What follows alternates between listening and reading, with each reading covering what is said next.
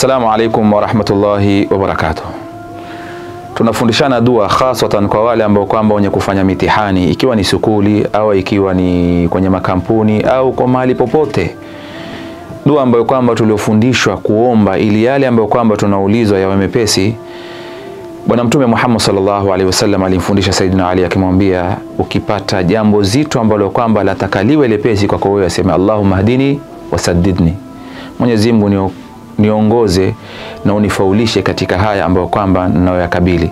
Kwa hivyo tukipatwa na mitihani ambayo kwamba ya kuulizwa katika mitihani yetu au tukipatwa na mazito katika interview zetu, basi dua mzuri ambayo bwana mtume aliyomfundisha Sayyidina Ali, Allahumma hadini wasaddidni.